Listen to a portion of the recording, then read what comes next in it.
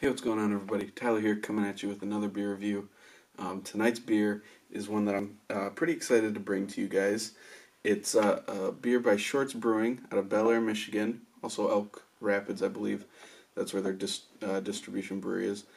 But their main brewery is in Bellaire. It's called Machu Beechu, which is a double IPA coming in at 8% and 60 IBUs.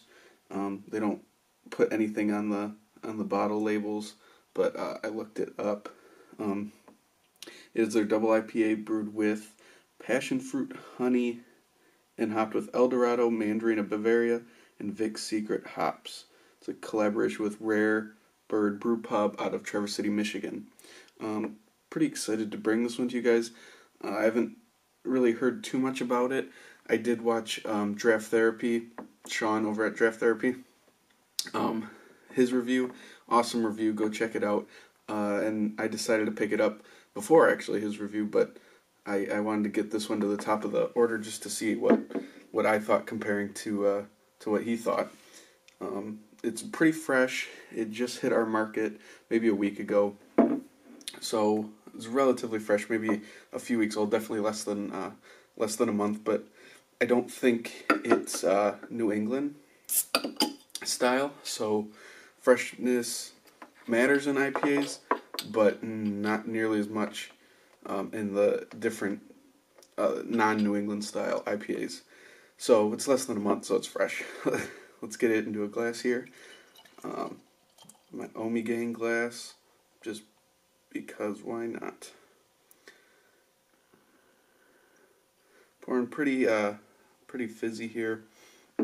Um, nice light amber color, uh, kind of like the amber, like an amber stone. Um, some carbonation coming up, very white head, pretty compa- compact bubbles, and then a little um, soapy at the top, um, dissipating pretty quickly as well. I didn't, I don't think I gave it too aggressive of a pour, but um, yeah. So anyway, uh, let's get an aroma, everybody.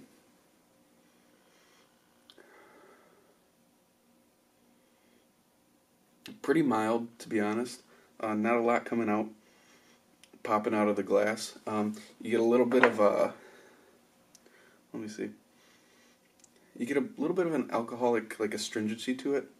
Um, a lot of uh, earthy, kind of piney hops.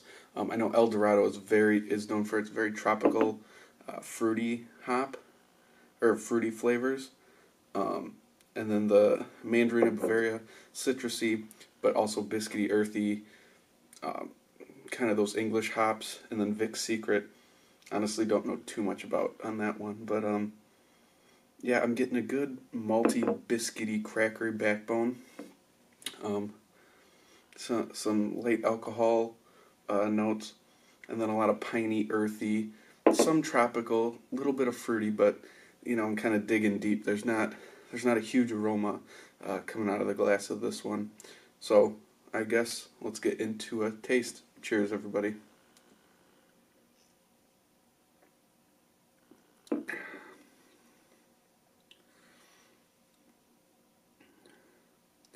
Big malty backbone. Very biscuity, crackery, almost like a Pilsner malt, um, where you're getting that like thickness uh, to it yeah, very malt heavy in this one, um, but but flavorful. It's not bad. Um, it gives it like that roasty kind of toasted crackery malt. Um, that's the backbone in this one, and then getting into the hop, it's it's not extremely bitter, but there's a good amount of bitterness, kind of in the back end, like a piney, earthy bitterness. Um,